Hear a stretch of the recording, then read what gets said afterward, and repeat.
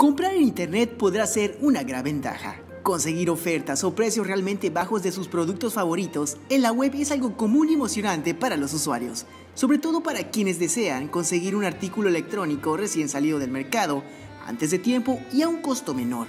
Sin embargo, no todo suele ser color de rosa. Es por ello que te presentamos las 5 peores estafas de comprar en la Internet. Número 1. PlayStation 4. Este primer desafortunado resultó ser un niño de aproximadamente 10 años, quien en los primeros instantes del video se mostraba contento al abrir su paquete recién llegado de una tienda online. Pero toda esta felicidad se volvió en una frustración al ver que el interior de la caja estaba vacía.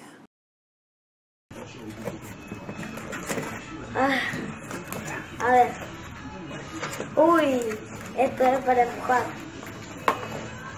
¿Qué es esto? No me digas que es una joda.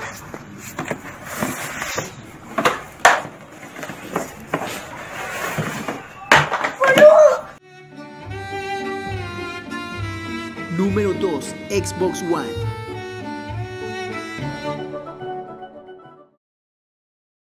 El Xbox One fue una de las sensaciones del momento durante su lanzamiento, por lo que los amantes de los videojuegos no dejaron pasar la oportunidad de conseguir una ganga en las tiendas online, tal como este sujeto que al abrir su paquete se llevó una gran sorpresa.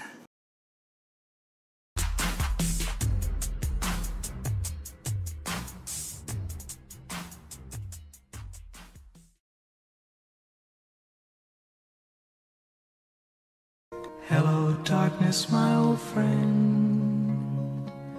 I've come to talk with you again. Número 3. Motorola C.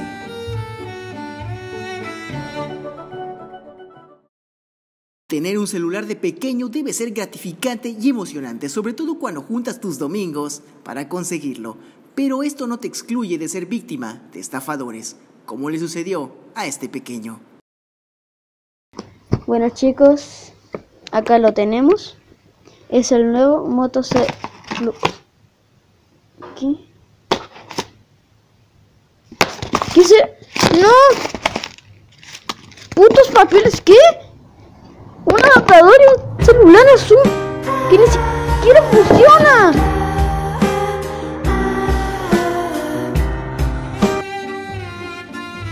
Número 4. Motorola Z Play. Aunque comprar un artículo en internet resulta ser un poco más barato, no deja de ser costoso, sobre todo si al final pagas por algo diferente a lo que llegó. Y eso, señores, este es el Moto Z Play.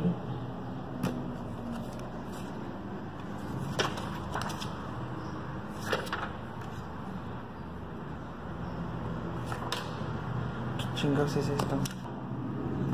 No trae nada más la pinche caja. Seis mil pesos por unas pinches grapas. Seis mil pinches pesos por unas putas grapas. Puto cable. Hijo de su chingada madre. Número 5. iPhone 10. Nada es más gratificante que conseguir algo con tu propio sudor y esfuerzo, sobre todo un artículo costoso y nuevo como un teléfono celular. Como pasó con este hombre que vendió muchas de sus pertenencias para conseguir su iPhone 10. Pero todo este esfuerzo resulta inútil cuando eres víctima de la estafa. Este es el momento que me ha costado semana y media de venta de cosas. Vendí todas mis cosas, güey. También todo, güey.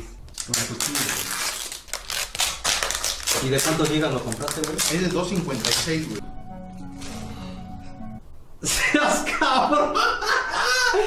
¡Vea, ¡Gastaste todo, pendejo, y te estafaron! No, ni me digas nada. No mames, güey. iPhone 5, güey. Puta, te vendieron un iPhone 5 por un iPhone 10, pendejo. Cabrón. No.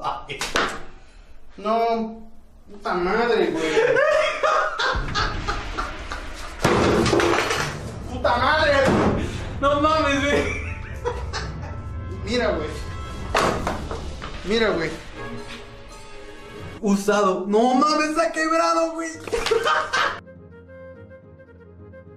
Estas fueron las 5 peores estafas de comprar en internet. Si usted quiere adquirir algún artículo por este medio, nosotros le recomendamos ir a sitios donde le den garantía como comprador o bien consultar con personas que hayan tenido alguna experiencia en tiendas online para evitar ser estafados.